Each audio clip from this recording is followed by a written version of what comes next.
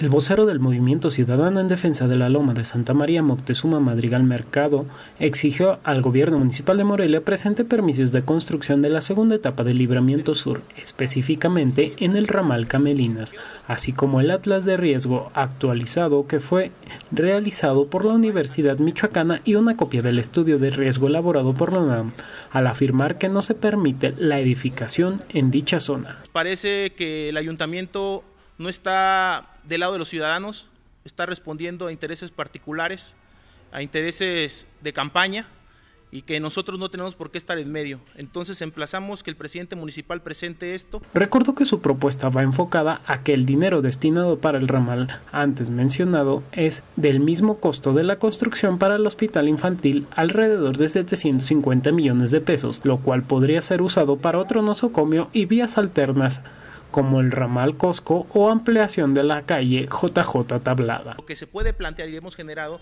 son los ramales, ya sea el Cosco o ampliar la bajada de JJ Tablada, generando un distribuidor vial en esa zona.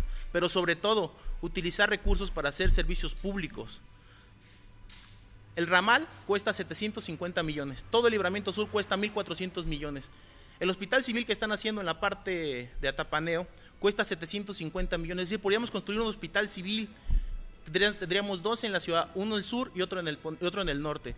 ¿Qué significa esto? Acercar los servicios a la población. Madrigal Mercado afirmó que las denuncias han sido presentadas ante la Profepa y PROAM, mismas que no han dado respuesta. Además, a Proan pidieron que clausure los trabajos de Altozano, pues aseveró que realizan cargas de su drenaje a cielo abierto y contaminan desde su inicio de operación de tiendas como Liverpool e interpusieron una denuncia contra ellos desde hace cuatro meses que se dieron cuenta de esto.